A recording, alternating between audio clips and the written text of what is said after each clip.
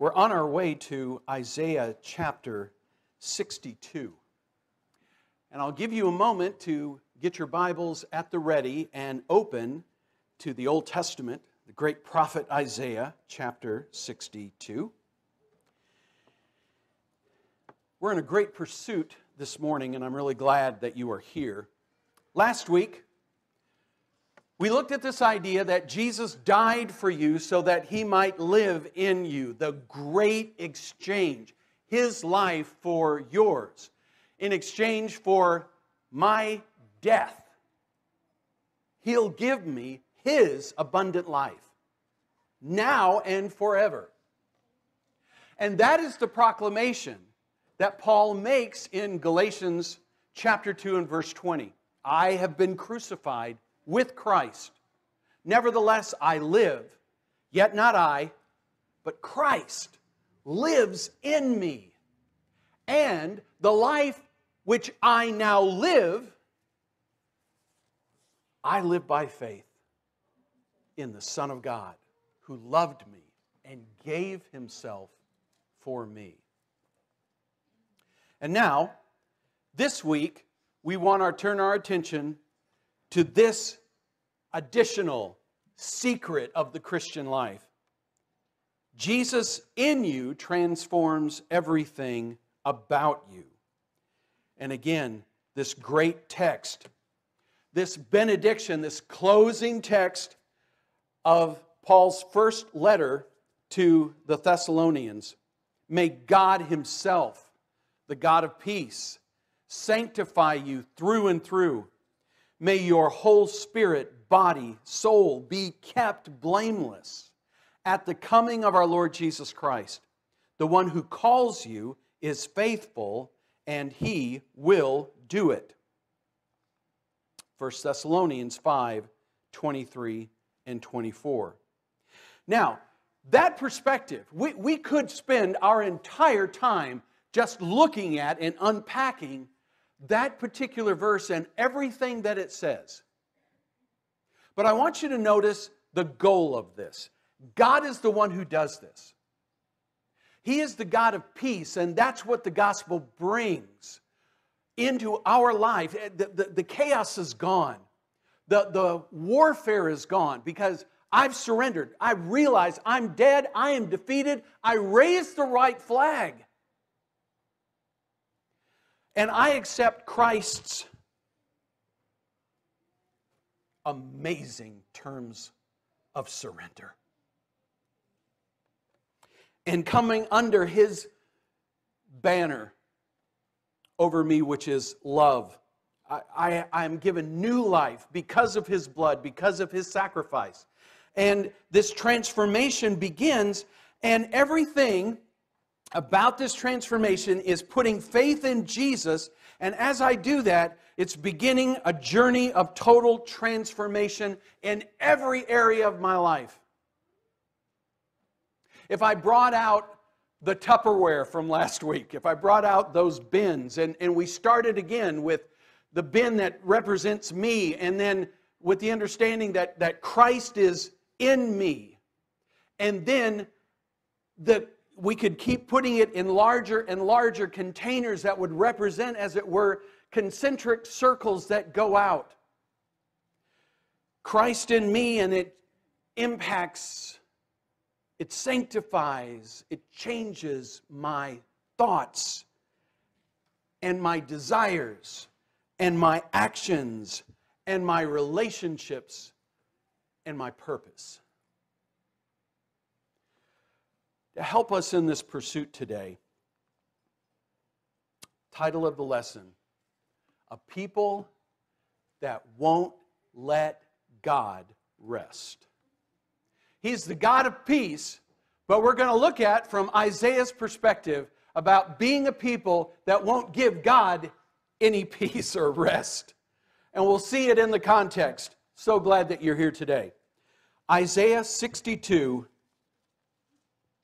I want you to listen to the craving, the, the, the desire in the prophet's voice as he speaks this. And remember, The question that we are using to frame all of this is do we really want more of God? Isaiah chapter 62, beginning at verse 1. For Zion's sake, I will not keep silent. For Jerusalem's sake, I will not remain quiet till her righteousness shines out like the dawn, her salvation like a blazing torch. The nations will see your righteousness, and all kings your glory. You will be called by a new name that the mouth of the Lord will bestow. You will be a crown of splendor in the Lord's hand, a royal diadem in the hand of your God. No longer will they call you deserted or name your land desolate, but you will be called Hephzibah and your land Beulah.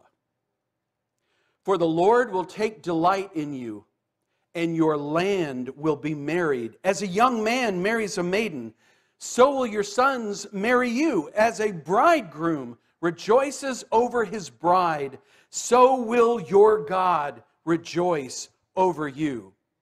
Note verse 6 and 7. I have posted watchmen on your walls, O Jerusalem and they will never be silent day or night.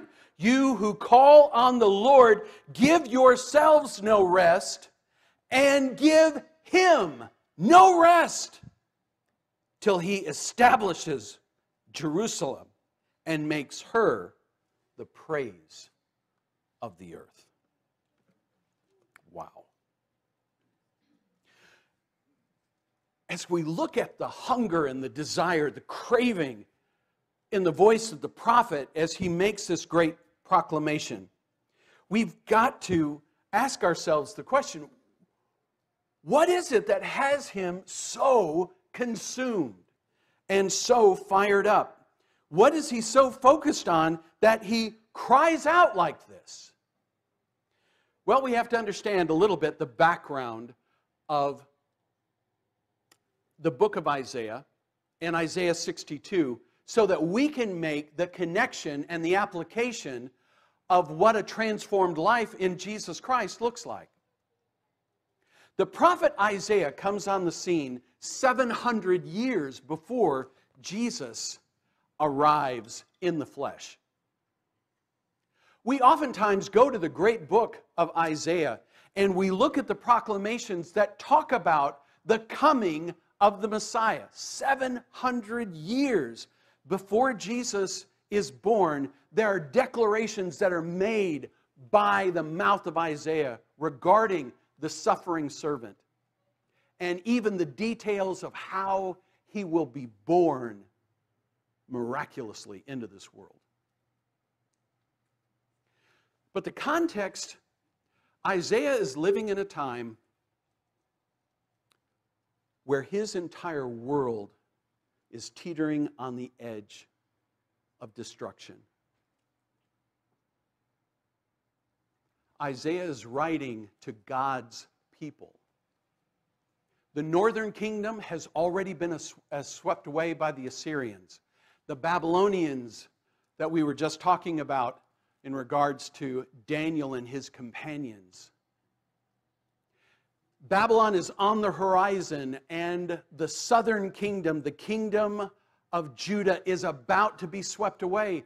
And the perspective that Isaiah has is he knows that God's judgment is imminent. But Isaiah is a prophet. And he is foretelling not only the imminent destruction that is right around the corner,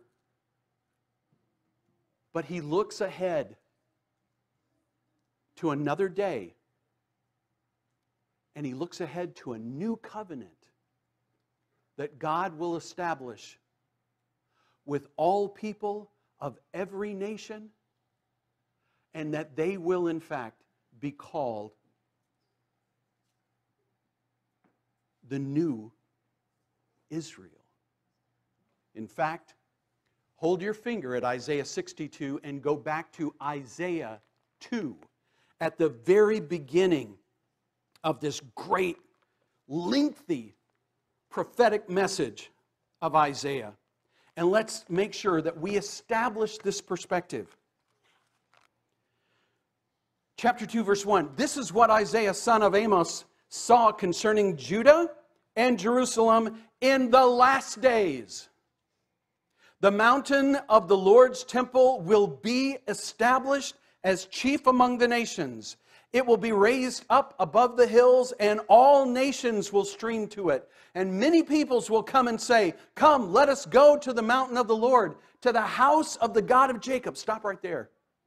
In the last days, that is, in the time of the Messiah, in the last days, this is what God is going to do. And it's going to start and it's going to go out from Jerusalem. And all nations and all people will say, Come, let us. This is the, the heart cry of people from all over the world coming into a new covenant relationship that God is establishing. He will teach us his ways so that we may walk in his paths. The law will go out from Zion, the word of the Lord from Jerusalem. That's the perspective. So, Isaiah in Isaiah 62 is following through with that same theme. And, and notice that Isaiah, speaking for God, declares the Lord Himself in these last days is going to give to His people a new name. That name we understand is Christian. It's defined in other terms here, and we're going to get to that good stuff here in just a few minutes. But that's the context that I want us to understand and appreciate. There is a change, a new name is given, and they have gone from desolate and deserted. This is the same idea, the same theme that Peter picks up on that you once were not a people, but now you are a people. You were once without mercy, but now you have received mercy. It's the exact same language as Peter is speaking to us as New Testament Christians and spiritual Israel. Well, we want to be the people that are described here.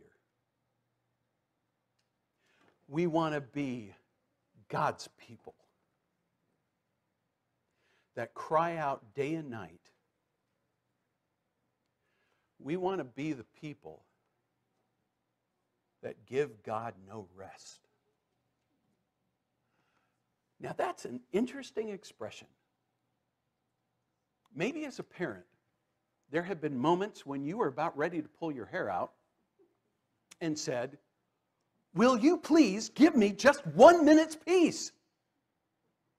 You're giving me no rest. I want you to understand that God Himself not only is allowing for this, He's asking for it. We could even go so far as to say He's demanding it from His people that we be engaged with Him on this kind of level. So, what are we talking about? Are we talking about prayer? Absolutely. Are we talking about fasting connected with prayer? Oh, yes. Are we talking about the focus and the center of our heart and our minds? Yes. And that even a thousand times in a day, we turn our attention back to where it needs to be. And so I just want to share with you this morning three reasons that we cry out three reasons why we cry out with no rest day and night, and we give God no rest. All right, spiritual Israel, are you ready? Here we go. Number one, we cry out for God's glory to be restored through his people, through his church. Look again at verse 1. I cannot keep silent. Why? For Zion's sake.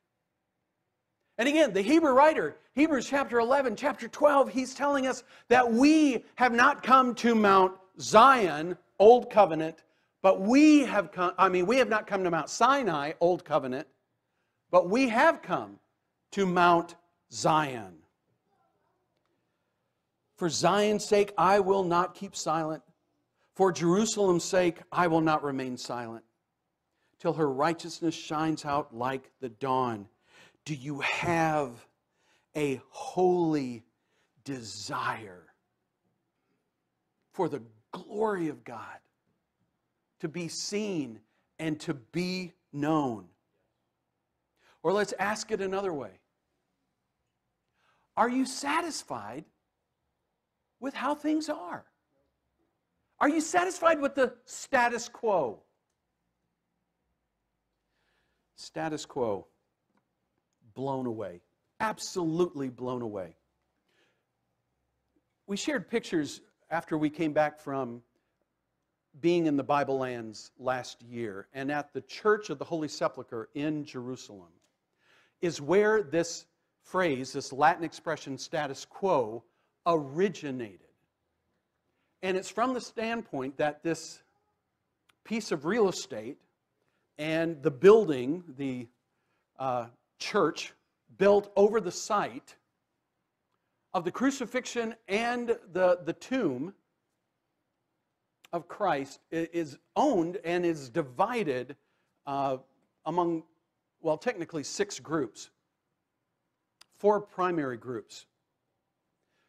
The Roman Catholics, Greek Orthodox, the Armenian Church, uh, the Syrians, and the Ethiopian Church, they all have a claim, and so they all have areas that are theirs, and they all have areas of responsibility. And so, there are certain things that are handled as part of the tradition that has been established now for hundreds and hundreds and hundreds of years. But you may remember, we showed some time ago a picture of a ladder leaning on the outside wall up against a window, and that ladder has been there for over 150 years. Because they can't decide whose job it is to take it down. That's status quo. That's where this expression comes from.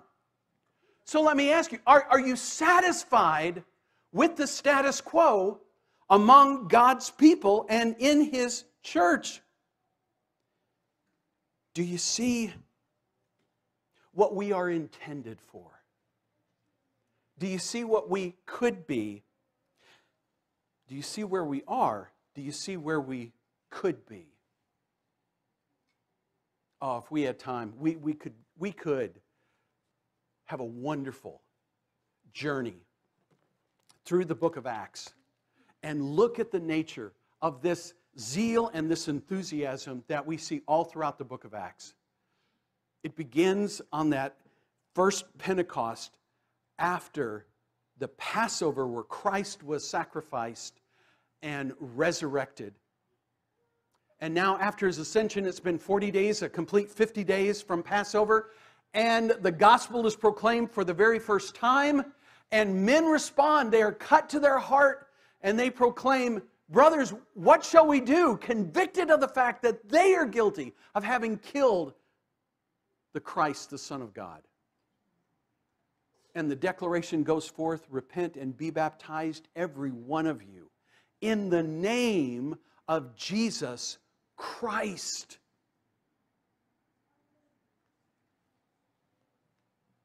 And you shall receive the forgiveness of sins and the gift of the Holy Spirit.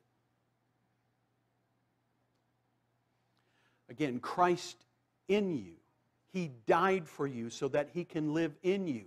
And we begin to see the transforming nature of Christ working in His disciples all throughout the book of Acts. I love the way that Luke the historian even begins the book of Acts. He says, Most excellent Theophilus, in my first volume, I told about all the things that Jesus began to teach and to do. This second volume, the book of Acts, we see Jesus continuing. But wait a minute, Jesus is ascended and is at the Father's right hand. That's right. We see him living, breathing. His hands are our hands. His feet, our feet, their feet. We see the pursuit of the disciples chapter after chapter after chapter, proclaiming the good news, drawing people to Him, proclaiming the kingdom, not satisfied with the status quo, sharing the gospel with all nations and people from every tribe, every tongue, every nation coming into the kingdom, this new spiritual Jerusalem. And we see the fulfillment of not only what Christ himself had promised and proclaimed, but what the prophet Isaiah had promised and proclaimed that the law of the Lord will go forth from Jerusalem, proclaiming the new covenant. Do we long for the glory of God to be restored in His church? to be proclaimed in his church, to be multiplied in his church, the glory of God to be increased in his church. Is that what we want? Is that what our heart's cry is day and night without rest? That for the sake of Zion, I will not keep silent for Jerusalem's sake, until her righteousness shines out like the dawn, and her salvation like a blazing torch. If that is your heart's cry, don't stop. Don't stop. Do we want God like that? Or are we content? God, make us this kind of church where we cannot sleep at night for calling out to Him for His glory to be revealed. That each one of us, like Moses, we're saying, Lord, I want more. I want to see your glory. Please show me more. We want more of you in this place.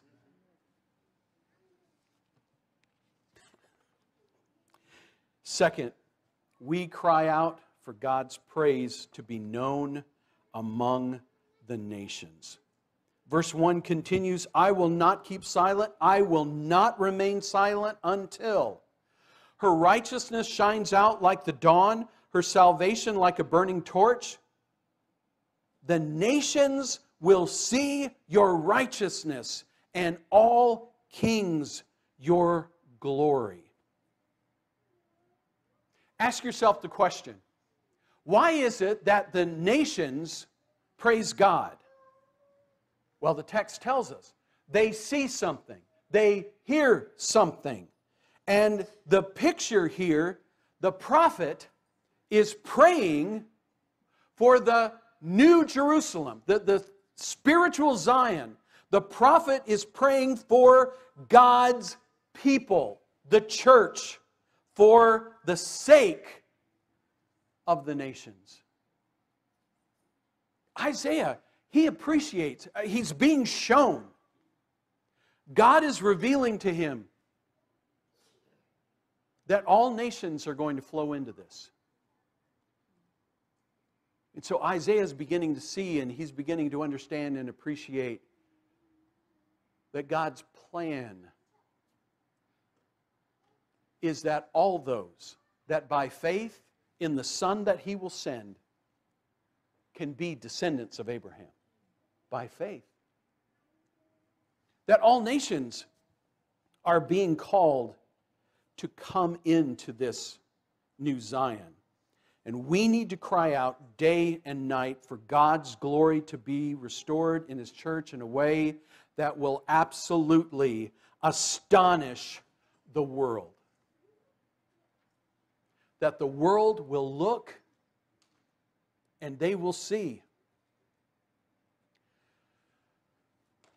Beloved, we've got to plant and we have to water, and God will give the increase. Our job, cry out day and night for God's glory to be restored in His church in a way that will astonish the world. We want, don't we? We want southeast Wisconsin to be astonished with the glory of Christ. And that will happen when God restores His glory in His church. And so we pray, we cry out for the church on behalf of the nations.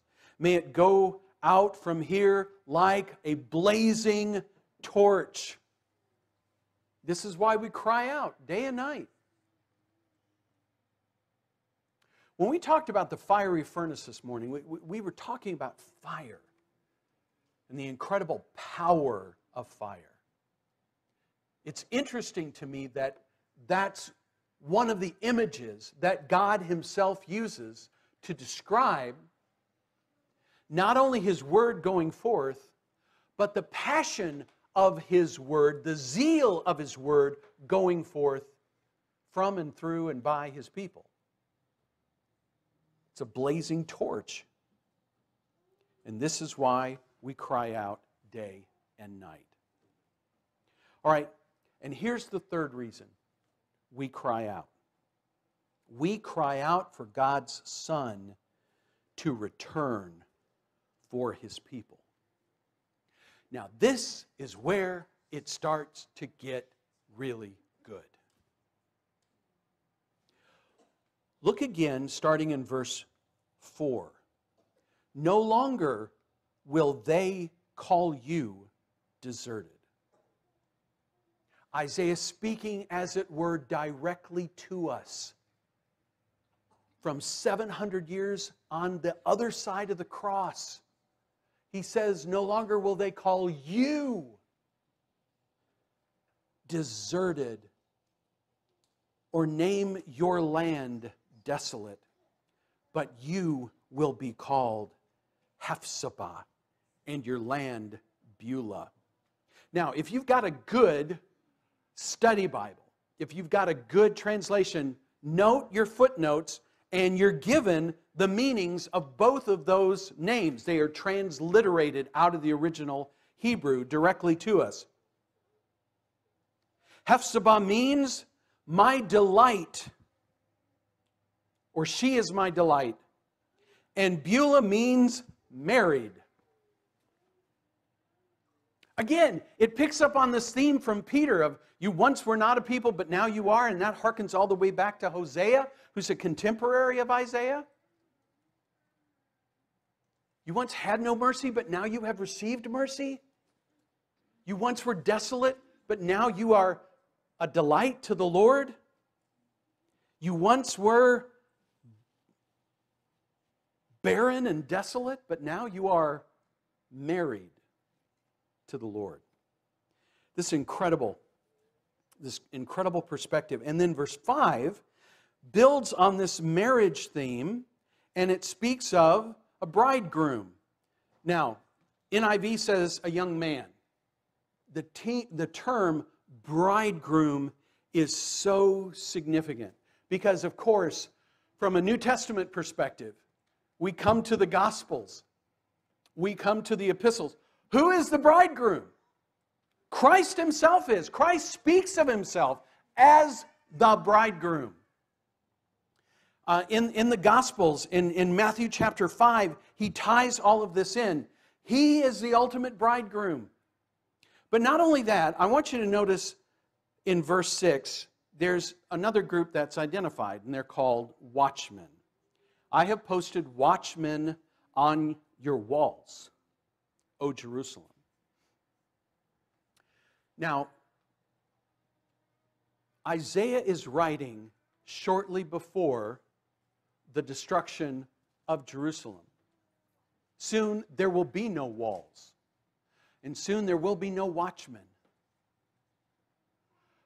And then, as the captivities, uh, captives are taken away into Babylonian captivity for the 70 years that is prescribed by God, when they return back, it isn't until Nehemiah comes along that the physical wall around Jerusalem is ever rebuilt. In the context of spiritual Israel, of spiritual Zion, watchmen, there's a sense in which every single one of us are called upon to be watchmen. The word watchman is sometimes translated overseer. Because that's literally what they were. They were high up on the wall, they are watchmen, they are overseeing. And they're overseeing two different things. On the one side, you look down into the city. But looking the other direction, you're looking outside on the horizon. And watchmen typically are looking for who? The enemy, right? And they sound the alarm. But there's a totally different picture that's given here. Here, the watchmen are looking not for the enemy, they're looking for the bridegroom. They're looking for the bridegroom to come and to announce and to proclaim Hey, he is on his way. What we've been waiting for, what we've been li- living for, he's on his way. And of course, the glory of this is that the bridegroom is not only just a bridegroom, he is the king. He is King of kings and Lord of lords. He's the bridegroom. And he's coming. And I'm telling you,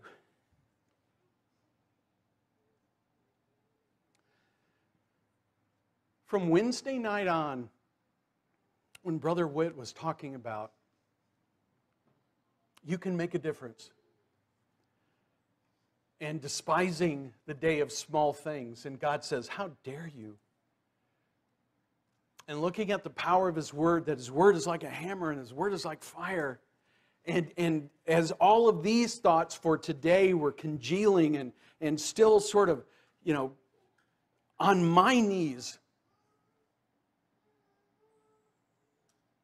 in regards to what it means to live that I am crucified with Christ. And coming to the realization that I'm called upon to be a watchman. And what's my job? My job is to be crying out for God's Son to return for his people. And I'm telling you,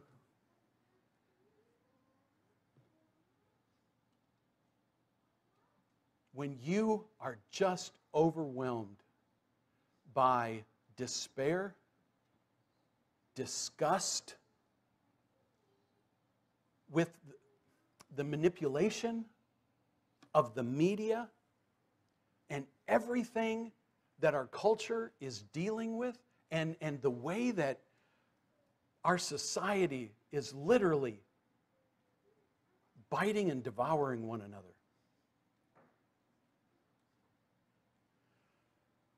Tell you what,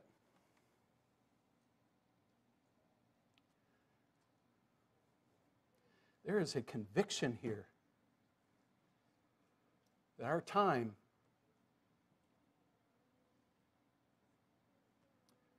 better spent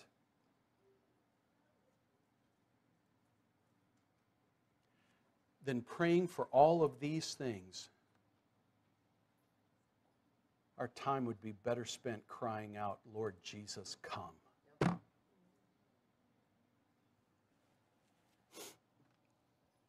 We are the watchmen on the walls, and we cry out day and night, longing for the bridegroom's return.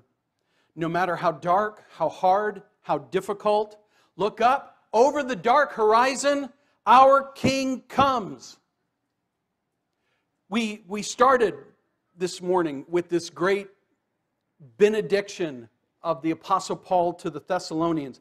The, the first Thessalonian letter is all about Christ coming again.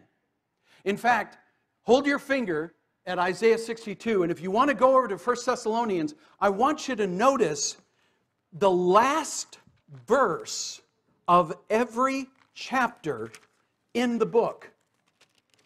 Now, we know that the, the chapters were added later, but sometimes chapter divisions come at good places, sometimes they come at bad places. Very significant here. Look at the last verse of each chapter. Let's start with uh, chapter, chapter 1, verse 10. And to wait for his Son from heaven, whom he raised from the dead, Jesus, who rescues us from the coming wrath. Come over to the last verse of chapter 2, verse 19. For what is our hope, our joy, or our crown in which we will glory in the presence of our Lord Jesus when he comes? Is it not you? Indeed, you are our glory and joy. Look at the conclusion of chapter 3, verse 12. May the Lord make your heart increase and overflow for each other and for everyone else, just as ours does for you. Verse 13. May He strengthen your hearts so that you will be blameless and holy in the presence of our God and Father when our Lord Jesus comes with all of His holy saints. Look at the conclusion of chapter 4, verse 17. After that, we who are still alive and are left will be caught up together with them in the clouds to meet the Lord in the air, and so we will be with the Lord forever. Therefore, encourage each other with these words. And then all of chapter 5 is about his coming. And we looked at the great benediction that focuses may your whole spirit, soul, and body be kept blameless at the coming of our Lord Jesus Christ. Verse 23. That's the perspective. The final cry of the book of Revelation is Come, Lord Jesus. And this is why we pray. This is why we fast. This is why we cry out day and night. And we don't rest and we don't give Him rest. We want him to come like this. We want Him to come for us. Why don't we cry out like this?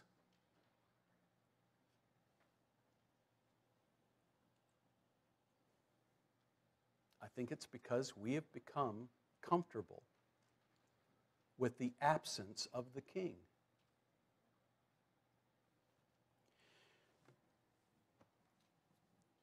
Even in spite of everything going on, we still have some pretty comfortable lives.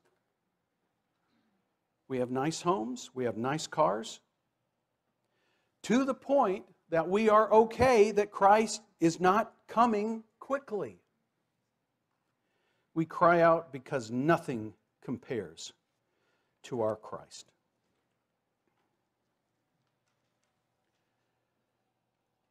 So, family of God at Spring Street,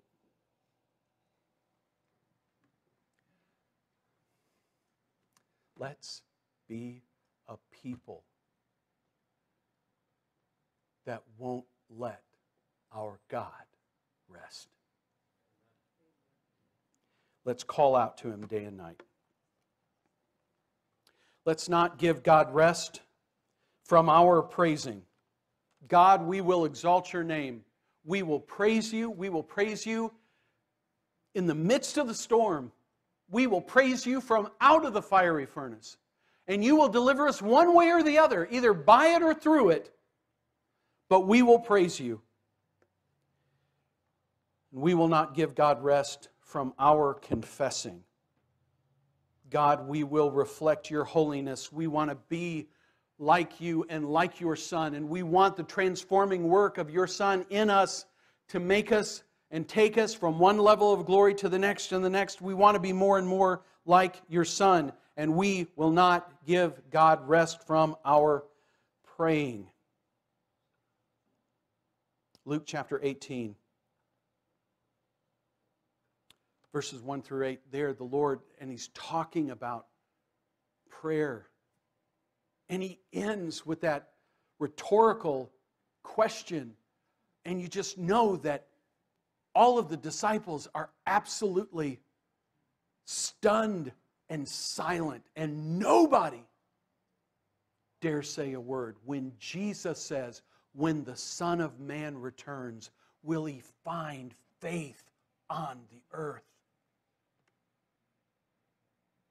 We want to be his people that are crying out to him day and night. God, we will boldly come before your throne. And God, we will never give up. And let's not give God rest from our working. Matthew chapter 24, verse 14, Jesus said, This gospel of the kingdom will be preached in the whole world as a testimony to all nations, then the end will come. That's an amazing statement made by our Christ. And so, on the one hand, do you get it? Do you get it? We're crying out day and night. We want the bridegroom to come. We're looking for him. But what do we have to be doing at the exact same time? We got to be proclaiming the message because he's not going to come until it's gone forth. God, we will, by your grace and by your strength, we will accomplish the very purpose and reason for why you have saved us and given us your mission. Well, do we really want God? Or are we satisfied? Are we content with the status quo? Or will we, as God's people, those who rose up and said, Come, let us, the, the willing that have come to Mount Zion for salvation, will we say, We want more? More of your glory, more of your majesty, more of your power. And you will find us on our faces crying out to you. Now, and if the Lord delays, six months from now, nine months from now, a year from now, whenever there's a vaccine and coronavirus, it goes away, we'll still be on our face crying out, Come, Lord Jesus.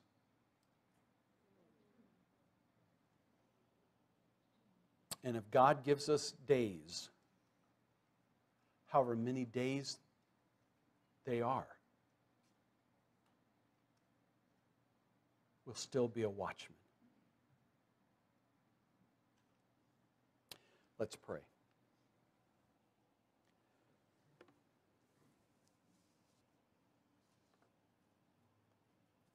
God, your word, it is a blazing torch